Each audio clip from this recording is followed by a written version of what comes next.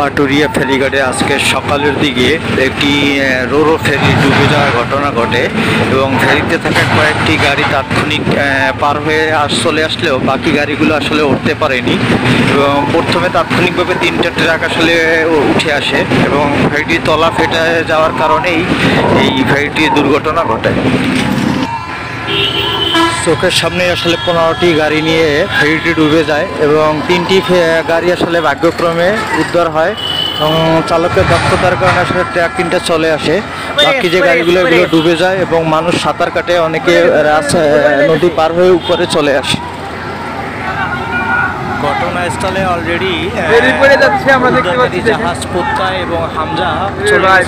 গাড়িগুলো উদ্ধারের জন্য প্রচেষ্টা চলতেছে। এবং গাড়িগুলো উদ্ধার জন্য এখনও চলতেছে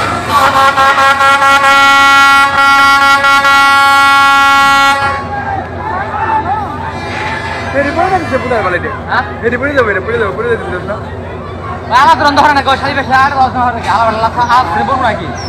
এরে ভাই ফেরি পড়ে গেছে পড়ে গেছে অলরেডি পড়ে গেছে।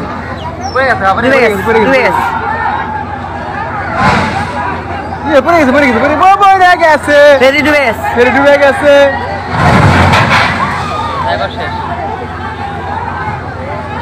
ফেরি ডুবে না? একাই একাই পড়ে গেছে।